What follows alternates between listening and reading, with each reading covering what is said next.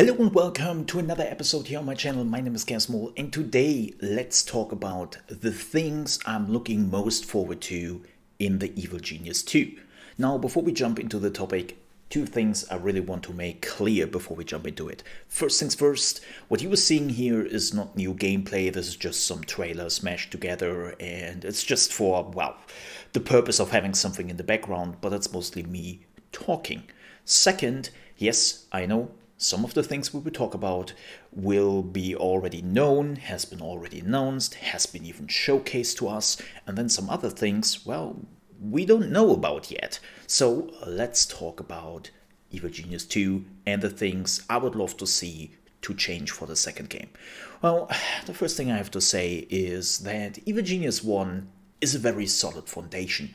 Like even wow, over 16 years after its release, it's still a very solid game. There is still like, even if you play it nowadays, it's still fun, it's still solid. Did it age? Yeah, yeah, it did. After 16 years and zero patches, yeah, games moved forward. But I would say that definitely Evil Genius is still a relatively solid game with some minor issues here and there, but most of the gameplay you find in the game doesn't have to be completely reworked.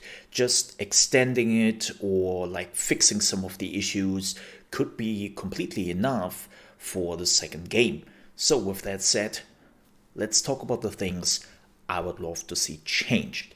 Well, the first thing was already announced and was one of the very first things they actually showcased is base building. Now, the base in Evil Genius 1 was unfortunately, um, how do I put this? A little bit too small for your evil plans. Like, for conquering the world, you had a very small base, and even the second base you get on the second island was relatively small, where the biggest problem was just that you couldn't really rearrange anything right? Like when you did the base building in Evil Genius 1, you could only make a bigger space. There was no way of just, well, fixing a mishap or when the room became too big, you couldn't make it smaller. And especially when you were new to the game, you didn't really know how big those um, areas had to be, those rooms had to be in the end. I still remember one of my first playthroughs because I had to laugh about myself and then I had to restart the game was because I was building my personal layer for my evil genius and of course being an evil genius i was like yeah i need i need the biggest room in this building. Like i mean this cave right? I have to make it more homely? It has to be big so I built the biggest room for my evil genius, till I just realized afterwards, yeah, that was not the smartest evil idea I ever had in my life, because, well, actually your evil genius doesn't need too much room, and I couldn't fix it. You, you, you couldn't retract it. It was what it was, and, well, I had to restart, because that was the only way how you could do it. And that was unfortunate. So glad that you can, of course, now in the second game actually change things. You can actually retract things, you can rebuild things, you can change the rooms again. Like, you actually now have absolute control over your evil base. And of course, which is also very important, you can now build on top of each other. Like, you have levels, and we will see how big those levels are, right? Like I assume that the closer it basically gets to the top, the smaller the area becomes. So I would at least assume. Um, but yeah, I I'm just glad that you can now do that. Um, of course, we have to see like when it comes to building rooms, like where do you want to build your rooms? Like how quickly can you go to level three or level two or something like that? Like how quickly can you change the levels with your minions? And with your henchmen.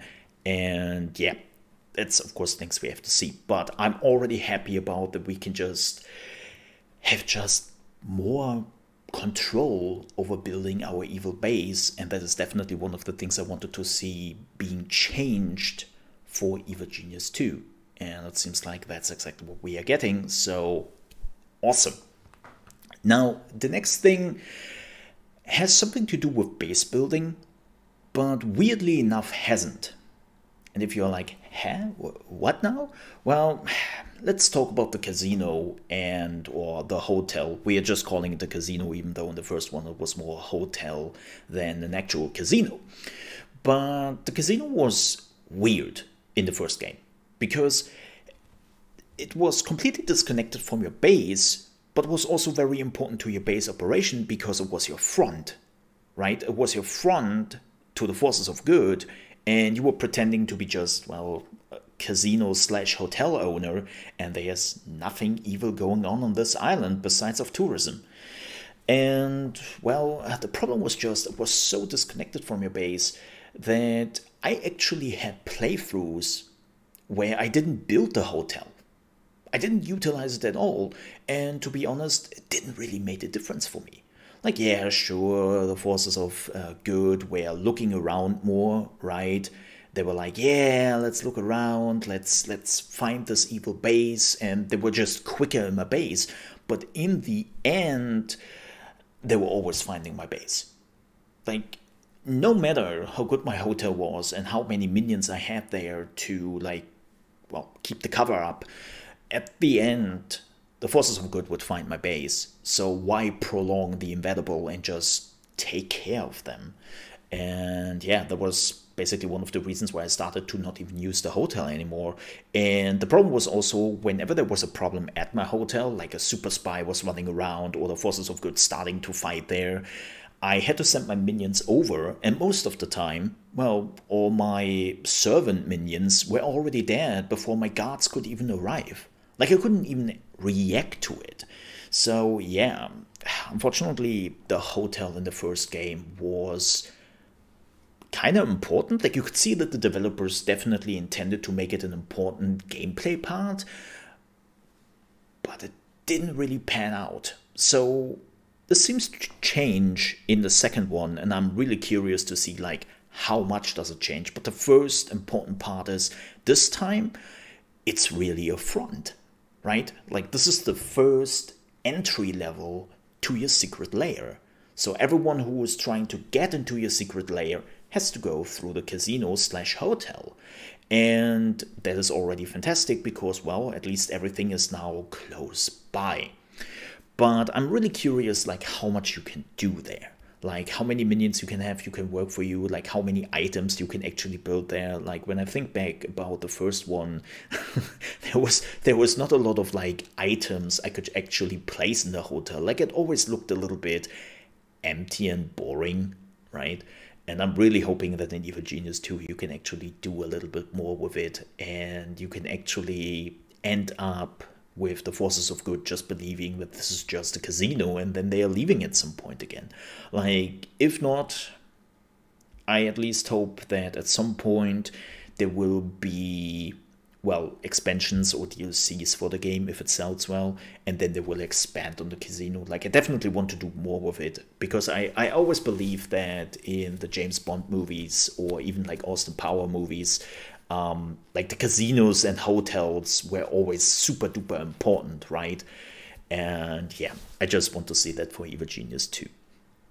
And yeah, we, we will see, but it looks already pretty cool and definitely more lively than the first game. And I want to see where they're going with it. Speaking of another thing, which they haven't really shown too much yet, um, but definitely needs a few updates is the world map. The world map was paramount to your victory in Evil Genius 1, right? If you didn't use the world map, well, then, yeah, your world domination didn't go uh, for a long time. And, well, you never did it. So you had to use the world map. But the world map was also a little bit weird. Like, you basically did send your minions around and then you just wait. Like there was no real interaction with the world map besides of sending your minions to a point, click on a button and then leave it alone, even though it was super important. So I hope they're expanding on that a little bit. And one of the things I really want to see. Like, if, if they're keeping the world map as it is, but one of the things which are really, really, really duper important to me notifications. This was the worst thing in Evil Genius 1. I lost so many minions on the world map because there was no notifications. Because what could happen if you have never played the first one is you had your minions on the world map doing your evil deeds and well those evil deeds were not necessarily unnoticed by the forces of evil, right? And they could send agents against you. And if you were not like cautious about this and you didn't hide your minions, well, then your minions would die. And sometimes you were so focused on your main base because shit was hitting the fan that you didn't really look at the world map like you were far too much focused on the whole thing of saving your base and of course saving your evil genius. And then you would go back after a minute or two to the world map and you realized oh my minions are dead. Well that's unfortunate. Whoops. And I really just hope that in the second game there will be notifications. Like, I know it's such a simple thing, and I'm actually really surprised that it wasn't really there in the first one. Like it's really just such a easy quality of life thing and it has nothing to do with make it too easy or anything. It's just again super annoying when you were focusing hard on your base because something is going down there and then the world map is also spinning and then two minutes later you are just coming back there was no announcement no notification nothing and all your minions died or like a good chunk of them. Especially that was making me really angry when you had some very valuable minions on the map for like certain um, abilities or like certain items, or you wanted to get like certain characters, right? And then you would lose the special minions, and it was like, why didn't you notify me, please? And yeah, I, I, I really hope that that is one of the things they will actually bring in, like at least give me notifications. Uh, one of the things I also would love to see is how you are getting like new special minions. Like in Evil Genius 1, right? You had to go to the world map, you had to capture um, that specific minion you then want, or the person you wanted to use to train your minion to the next special minion right? And I never liked that because every time when you would lose too many of your minions, you had to go out there on the world map again and then just capture the person again. And it was just it was a little bit tedious and not necessary. So I'm hoping actually that in the second game you don't have to do that anymore. But now let's talk about the last thing for today. And this is the biggest one. This is actually a thing which I hope they rework. They completely throw it out of the window and make it a new. And it seems like they do. Like at least what we have heard and seen from some pre uh, from preview events, but I still want to talk about it, and that is research. Research in the first game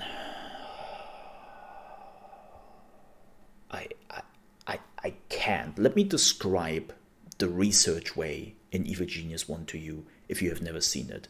So you needed, of course, scientists. So you have to capture them at some point in the game, and then you have enough scientists in your base. And then, of course, you need a room, and this room needs all the scientific um, items you need for research. So if you have those two things, you can start to do research but not how you think it would work. Now, in Evil Genius 1, scientists will walk through your base and will at some random point take notes of an item, and if they took enough notes, they would start to give you a choice how you want to start the research progress for that item. How did that work? Well, you had the item, and then you had to choose the right research facility to start the research. If you choose the wrong one, you had to start anew. And I mean anew, anew. So your scientist had to go around again, had to take enough notes before you could actually start the research of that item again. Now, you could, of course, shell out some money to eliminate the wrong research items, and then you would only have um, the research items which can actually produce um, the product you want in the end. But, and this is the big but, you didn't know what it was. Like, let's say, let's take a door. Let's take a door, right? So, you want to research your door, and you have two research items you can utilize. One of those research items will give you the tier 2 door, the next upgrade, and the other research item would give you another paint code for the door. No, that wasn't real, like the paint code wasn't real, but you get the idea. There's a tier 2 door and there is another paint for the door, and you didn't know which was one, at least not at the beginning. Like, of course, if you um, if you already have played the game, you knew which item you had to choose. But especially at the beginning, and well, where online guides and YouTube videos weren't really a thing in 2004 at the beginning, it was just poor random. And it was so infuriating because afterwards, when you choose one of the research paths, it started from the beginning. You had to wait till your scientists are going through your layer, finding the items, taking notes, and so on and so forth.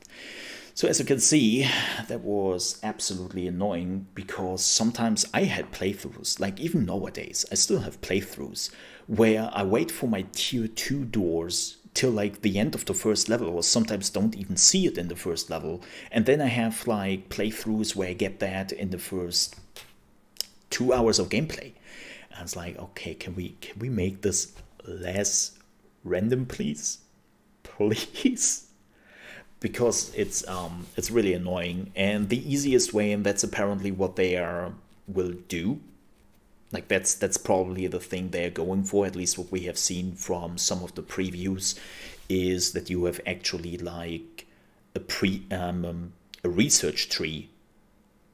And then you can just accumulate research points and then you could just say okay i want to have this researched or go down this tree and research this right? Like you would actually think a normal research tree is functioning. It seems like they are going for that.